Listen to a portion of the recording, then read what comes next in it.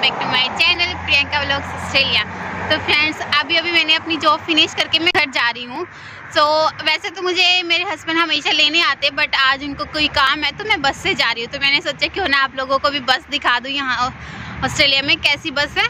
तो मैं आज आपको बस दिखाऊँगी यहाँ की भाई कैसी बसें होती है क्या क्या सर्विस होती है उनमें और कैसे हम उनको यूज़ करते हैं।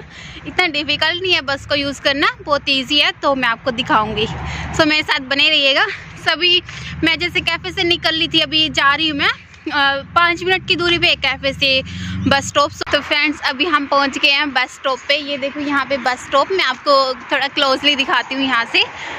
ये देखो यहाँ पे ये बस स्टॉप एक तो बैठने के लिए बना रखा है। और ऊपर यहाँ देखो, यहाँ पे टाइम लिखा हुआ है, भाई किस टाइम पे बस आएगी। और ये देखो, यहाँ पे लिख रहा है, भाई नेक्स्ट बस कौन सी आएगी, कौन सा रूट आएगी और कहाँ पे जाएगी वो बस और साथ में उसकी टाइमिंग भी दे रखी है, कितने मिनट बाद आएगी? यहाँ पे ये थोड़ा ब्लिंक कर रहा है मतलब अच्छे से साफ़ नहीं दिखाई दे रहा बट ऐसे यहाँ पे पूरा लिखा हुआ होता है यहाँ पे। और इसके अलावा आप जैसे एक पीटीवी ऐप होती है, उस ऐप में भी देख सकते हो आप, भाई, कितने टाइम बाद बस आएगी और कौन सी बस आएगी, आपको कहाँ जाना है, उसके अकॉर्डिंग आप बस का पता लगा सकते हो। तो अभी मैं आपको एक चीज़ और दिखा दूँ यहाँ पे।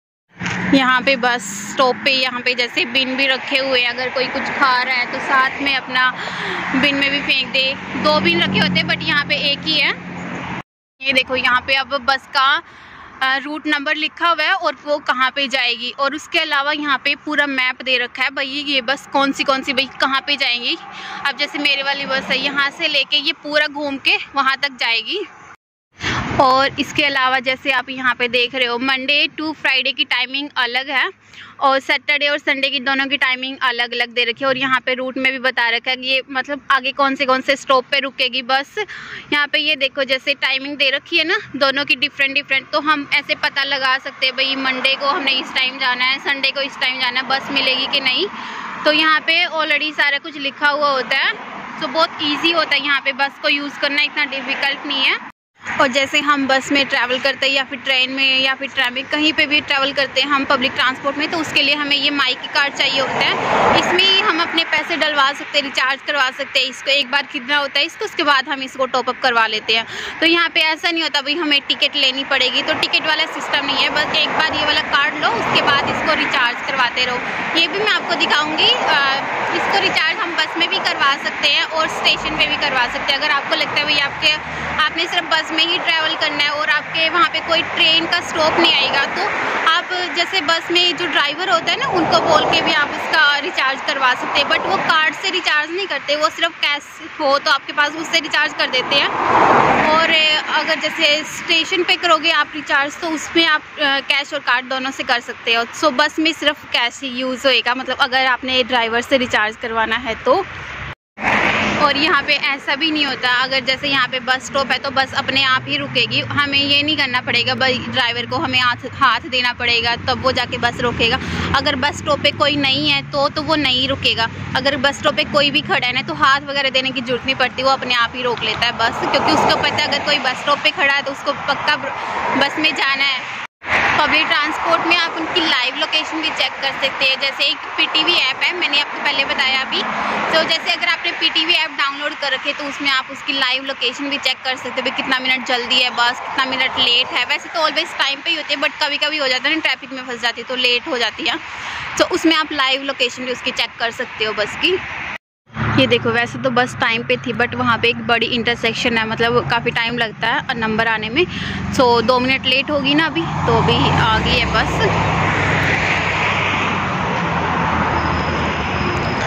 अब ये अपने आप ही रुक जाएगी यहाँ पे।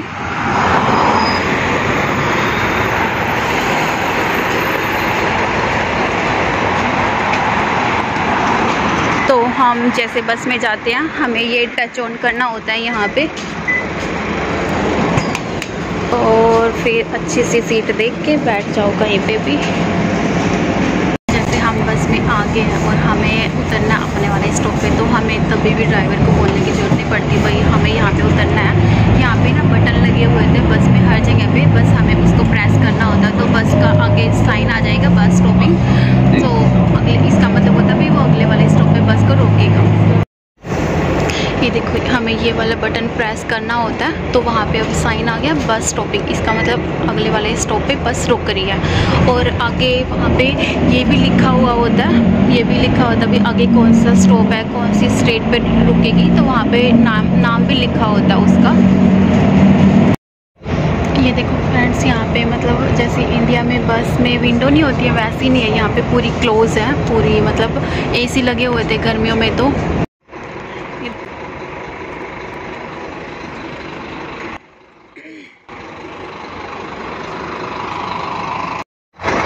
और यहाँ पे लोग ऐसे धक्का मुक्की नहीं करते, अगर बस में चढ़ना है तो बस जितने बंदे खड़े सारे आराम से चढ़ेंगे, ऐसे नहीं भाई, मैं जल्दी चढ़ जाऊँ, मैं जल्दी चढ़ जाऊँ, नहीं नहीं। जो बस में से जिन्होंने पहले निकलना है, पहले तो वो सारे निकलेंगे उसके बाद जो बाहर खड़े हैं, उन, वो जाएँगे। मतलब ऐसे नहीं है भाई, वही चढ़ने लग जाएँगे, तब, जब तक वो निकले ना तो यहाँ पर ऐसा होता है। तो फ्रेंड्स, मुझे घर जाने के लिए अभी बस तो मैंने अपना ट्रैवल कर लिया, जितना करना है तो उसके बाद मुझे ट्रेन में जाना है। तो अभी ट्रेन में जाना है तो मैं आपको माइकी का दिखा देती हूँ, यहाँ पे एक तो फ्रेंड्स ये है माइकी टॉपअप स्टेशन यहाँ पे हम अपनी माइकी को रिचार्ज कर सकते हैं. अब जैसे मैं अपनी माइकी यहाँ पे रखूँगी, उसके बाद यहाँ पे आ जाएगी ऑप्शन हमने क्या करना है? माइकी चेक करनी है, क्या करना है? तो भी मैं अपनी माइकी को टॉपअप करती हूँ. टॉपअप करने के लिए हमारे पास ऑप्शन आ रहे हैं. हमें कैश से पे करना है या कार्ड से? अब अगर हमने कार्ड से पे करना है तो हम इस पर प्रेस कर देंगे बट मैंने कैश से पे करना है तो मेरे पास अभी कैश है. तो हम क्या करेंगे अपने क्या पैसों को यहाँ पे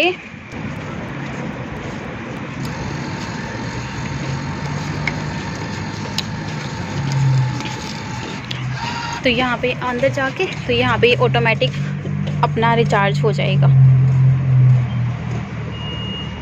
ये अपडेट हो जाएगी माइकी और हमें, हम अपनी माइकी की हिस्ट्री भी चेक कर सकते हैं। हमने कब ट्रैवल किया था ये देखो, अब यहाँ पे मैंने टेन डॉलर्स डाले तो यहाँ पे लिखा हुआ आगे मैंने टेन डॉलर्स डाले हैं तो अब हमारी माइकी अपडेट हो गई है। सो ओके अगर आपको रिसिप्ट चाहिए तो आप रिसिप्ट ले सकते हो तो नहीं चाहिए तो नहीं तो नो पे क्लिक कर सकते हैं। सो so, अब यहाँ पे आ रहा तुम्हारी माइकी अपडेट हो रही है। Now transaction complete so you can take your my key now station के अंदर जाने के लिए हमें ये यहाँ पे टच ऑन करना पड़ेगा तो ये खुल जाएगी और हम अंदर जा सकते हैं। हाँ तो फ्रेंड्स अभी मैं जा रही हूँ ट्रेन में। ट्रेन का मैं आपको किसी और दिन दिखाऊँगी, क्योंकि अगर मैं ज़्यादा अभी वीडियो बनाऊँगी तो काफ़ी लंबी हो जाएगी। सो अभी मैं ट्रेन की एक सेपरेट वीडियो बनाऊँगी। भाई उसमें हम कैसे यूज़ करते हैं। वैसे तो ऑलमोस्ट सेम ही है ट्रेन और बस का यूज़ करना बट वहाँ पर ये होता है, हमें स्टेशन के अंदर जाना होता है और बस का हम ये होता है। वो वहाँ पे बाहर बस स्टॉप होते हैं उनके तो थोड़ा सा डिफरेंस होता है बट सेम ही है ऑलमोस्ट इतना डिफ़िकल्ट नहीं है ट्रेन को यूज़ करना भी। चाहे हम बस में ट्रैवल कर रहे हो या फिर ट्रेन में ट्रैवल कर रहे हो बट जो मैंने आपको माइकी कार्ड दिखाया, वो हमें हमेशा टच ऑन करना होता है। कई बार हम क्या सोचते हैं, भाई, हमें तो दो स्टॉप ही जाना होता है। भाई, रहने दे।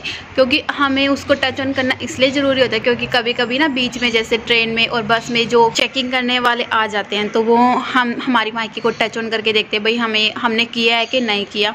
तो अगर हमने नहीं कर रखा टच ऑन तो वो हमें फ़ाइन दे सकते जैसे 400 500 डॉलर का फ़ाइन दे देंगे। और वैसे तो अगर हमने दो तीन स्टॉप जाना है तो हमारे तीन डॉलर ही लगेंगे। इतना तो हमें अगर हम पूरा दिन भी ट्रैवल करेंगे ना बस या फिर ट्रेन में जैसे हम इधर से उधर इधर से उधर से जाते रहेंगे तो हमारा ज़्यादा नहीं होता। पूरे दिन की एक फ़िक्स अमाउंट होती है। आ, नौ दस नौ डॉलर होती है। अब थोड़ा सा इंक्रीज़ हो गया। पहले नौ डॉलर होती थी। मतलब चाहे आप दिन में दस बार ट्रेन यूज़ कर लो तो आपके नौ डॉलर लगेंगे। सो so, माइकी को टच ऑन करना बहुत ही ज़्यादा ज़रूरी है। सो so, इस चीज़ का हमेशा ध्यान रखना आप लोग। फ्रेंड्स अगर आपको मेरी आज वाली वीडियो अच्छी लगी हो तो प्लीज़ वीडियो को लाइक कर देना और अपने फ्रेंड्स के साथ शेयर कर देना।